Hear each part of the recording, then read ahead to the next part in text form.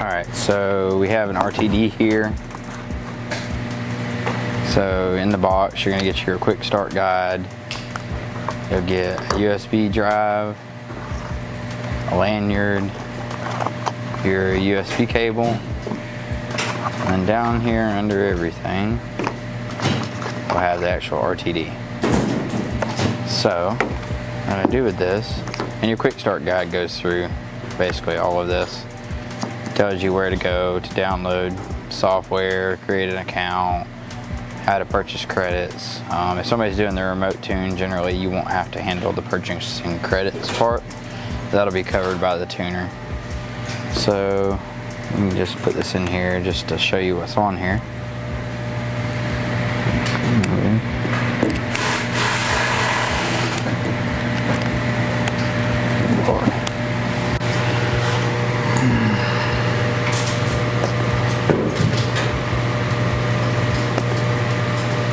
So it has the setup and your software on the USB drive. Uh, you can go to the website hptuners.com and get the most updated and current versions of this. Um, it's generally going to be an older one on here. Another good thing to do is to save all your tunes to this and put it in a glove box in case the ECU ever goes bad or you have any kind of issue with it losing the tune um, or if you just want to send somebody a tuner vision and uh, not have to actually hook up to the car. So, get this thing out of here. So, to use this thing, what we'll do is we'll get the RTD and our cable.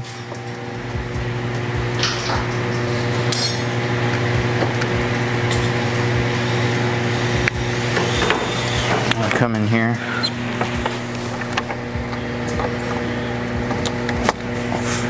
plug this in thing into the car. Plug this into our laptop.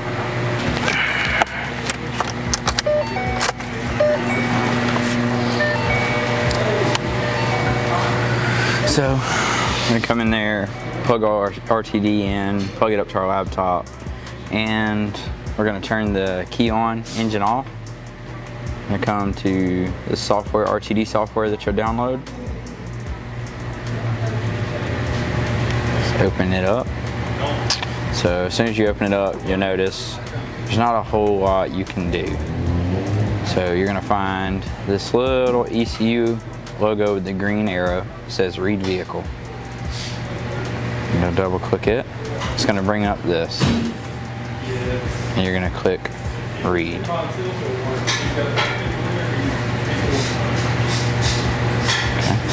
At this point, it's going to read the factory configuration in ECU. Whatever's in there, it's going to read it, save it, and uh, it'll let us name it whatever we want to name it.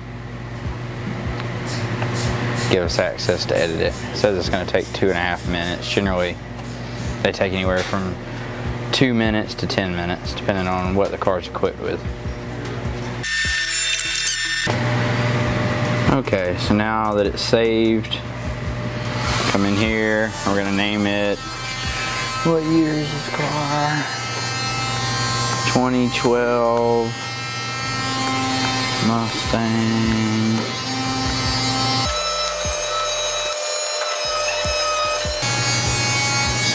Basically I just name on what the car is, what we're doing to it, which this car's getting a Vortech, stock read, and then the customer's name.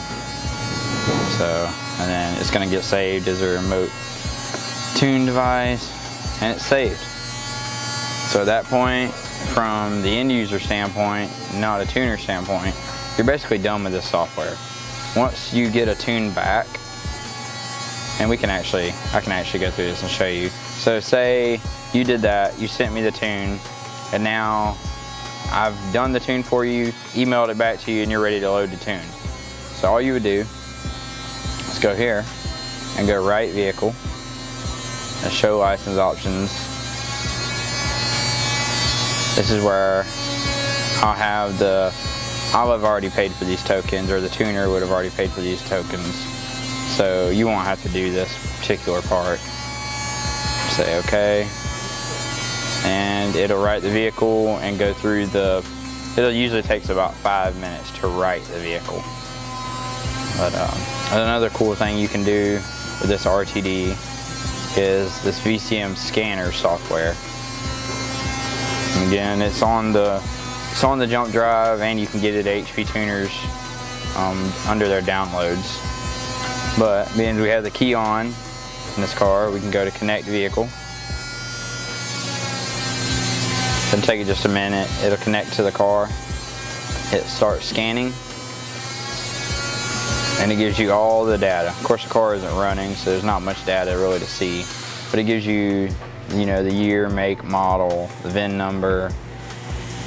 And it just gives you a ton of data. Fuel flow rate, you know, drive shaft RPM, idle position, idle commanded, idle desired, mass airflow, engine coolant temp, oil coolant temp, exhaust temperature. I mean, just, just tons of data. Here you have your gauge cluster. You can customize this to show whatever you want to show. Graphs for spark advance, spark retard, you know, O2 sensors, math. I mean, just tons of stuff, all your charts. You can resize all this stuff. I mean, don't be a, you, you can't affect really anything with the car for any of this. So, you know, you can kind of get in here and play with it and look at whatever you want to look at. You can create channels. Um,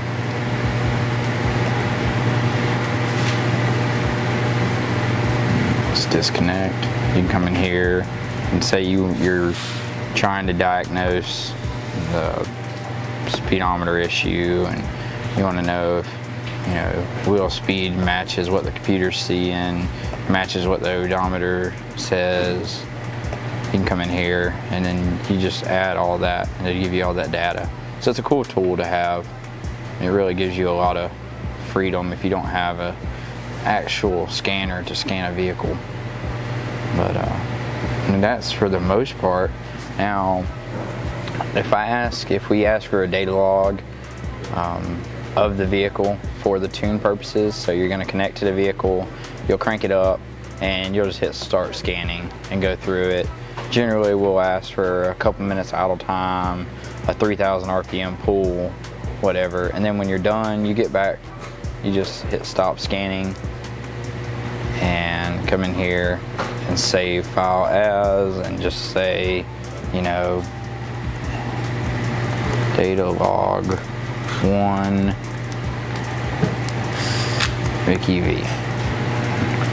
And then you can send that to me and uh, that just lets us look at it and make sure everything's kosher with the tune. It's a big help to be able to do all that with this software. But uh, for the most part, other than downloading these two, which is super you know, super simple. You just go in there and download them, add them to your desktop, add them to your taskbar. But uh, other than that, I mean, it's really easy to work with. If you have any questions, you can email us. And uh, they work really good. So that's the RTD. And we also sell the MPVIs if uh, guys are interested in trying to learn how to tune themselves. But uh, that's it.